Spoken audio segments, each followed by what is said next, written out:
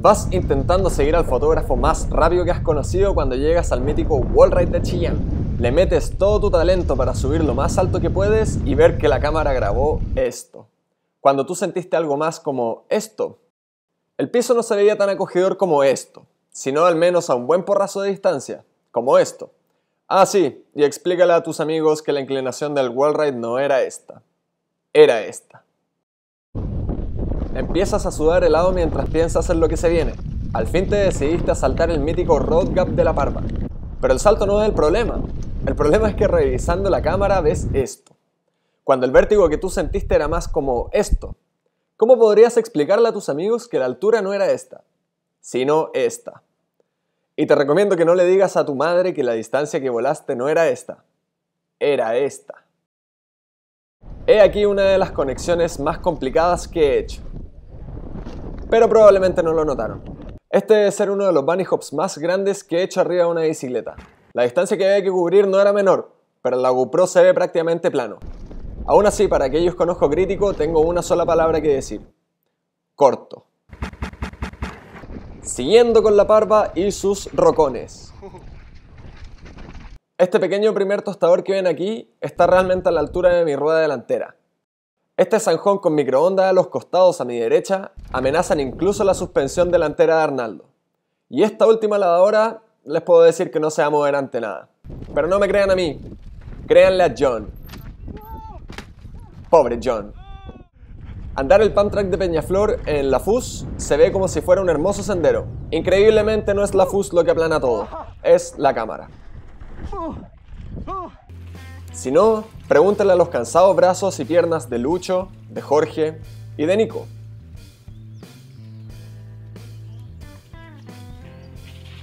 Miren, pareciera que a Nico ya le está costando respirar. A veces vemos que la GoPro va rebotando a lo loco y pensamos que el tipo que hace este canal de YouTube es boludo y monta mal la cámara, ya que el sendero se ve plano. El antenazo de JJ no es plano, y mi chesty está tan apretado que apenas puedo respirar. Si quieren pruebas irrefutables de que el sendero tenía lo suyo, miren la Lyric de la Snap o la Triple 8 de Tallarín. Hay segmentos de circuitos que parecen ser de otro planeta, y alucinas con que tu cámara de acción le hará justicia, pero luego te encuentras con este suave lomaje.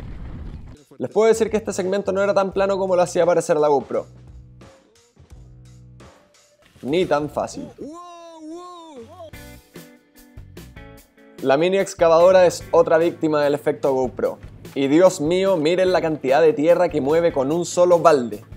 O compárenla con ese micro balde ahí a lo lejos.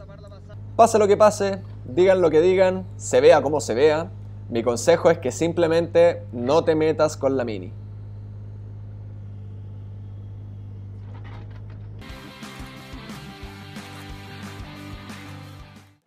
La imponente cordillera de los Andes, la majestuosa montaña y la frustración de que un salto en tales condiciones se vea así de pequeño. No era el gap más grande del mundo, pero si lo miramos bien podemos decir que tenía lo suyo.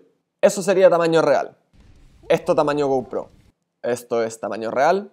Esto es tamaño GoPro. ¿Capish? Cuando ves a los desquiciados de Lonquimay andar con precaución, sabes que las cosas realmente son más complicadas de lo que parecen. Y este segmento que parece pasarela peatonal está un poco más expuesto de lo que se logra apreciar en la GoPro, como se los puede mostrar Marcos y sobre todo Joaquín. Finalmente tenemos este cerro en Lonquimay. Es el lugar donde construimos el salto natural más grande que he hecho en bastante tiempo. Lo sesionamos un montón de veces probando distintas tomas de las cámaras y aquí no queda nada más que comparar la GoPro con gimbal la GoPro sin gimbal y cualquier otro ángulo que no sea GoPro.